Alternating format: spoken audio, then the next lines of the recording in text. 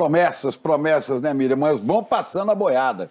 Continuam passando é, a boiada. Mas é importante, bom dia, Chico, é importante isso que ele lembrou, que o, ele se comprometeu publicamente diante do mundo, o presidente Bolsonaro, a duplicar o orçamento do IBAMA e do, dos órgãos de fiscalização, IBAMA e CMB. Então, ele, né, temos que continuar cobrando dele. Mas já esvaziaram tanto, então vai ficando difícil. Vão passando a boiada. Miriam, você tem conversado com quem acompanha de perto as ações lá na, na COP26 né, e as negociações. Quais, qual é, é, foi a reação aos compromissos que o Brasil está assumindo até agora?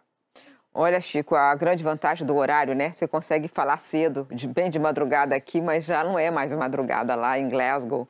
Então, eu tenho conversado de fato daqui, tentando eh, acompanhar, e eu vi é, nessas nas conversas de hoje cedo que, é, eles, que os, os observadores, os empresários, os ambientalistas viram como positiva essas duas, esses dois movimentos do Brasil. O Brasil assinando o acordo de metano para reduzir em 30% a emissão de metano no Brasil, no, no, mundo inteiro. Essa é uma meta global, não é uma meta por país. Mas acontece que o Brasil não, não se esperava que o Brasil assinasse esse acordo, até porque o metano é, é emitido principalmente pela pecuária. E então teria que tem que enfrentar ah, a pressão, por exemplo, da bancada ruralista.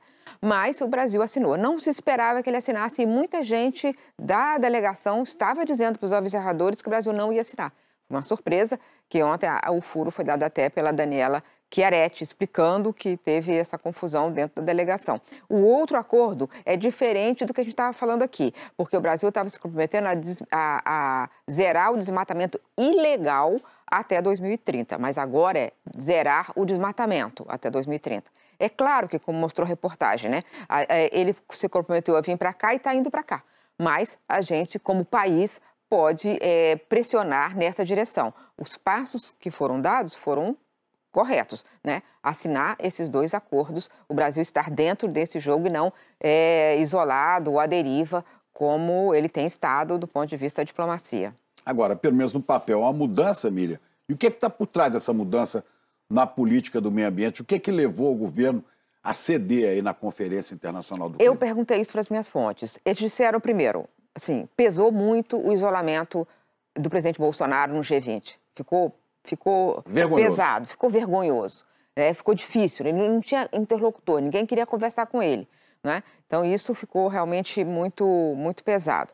É, uma outra coisa é que é, ele já vem isolado, o governo Bolsonaro vem isolado internacionalmente, estava muito dependente da relação com Trump. Trump saiu e ele ficou sem parceiro. Então, o que, que aconteceu? Ficou conversando com os garçons, né? Desculpa te interromper. Não, mas assim, até é simpático pois é, conversar é, com os garçons, mas... mas... o fato é que, do ponto de vista da, da, da, da negociação, ele acabou é, seguindo é, as, as pressões e, e, os, e os pedidos da diplomacia americana, ainda que tenha mudado o presidente americano. Então, os Estados Unidos é, é, pressionaram e, e conseguiram. Ele estava sem parceiro internacional. Além disso, uma terceira coisa, um terceiro fator é muita pressão de empresários, gente, muita pressão. É, foi assinado antes de sair é, 100 é, empre, é, empresários e, e, e associações empresariais pedindo para o Brasil mudar de posição.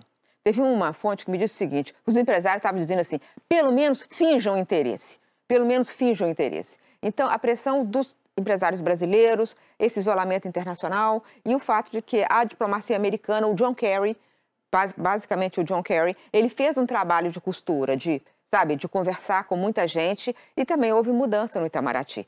Por é, menor que seja a mudança, né, saindo é, Ernesto, é, realmente foi uma, uma, fez uma diferença essa saída do, do ex-chanceler, que era muito belicoso. Vamos acompanhando então, Miriam, passo a passo. Muito obrigado por você trazer aqui essas informações quentinhas para a gente. Tá certo. Obrigado.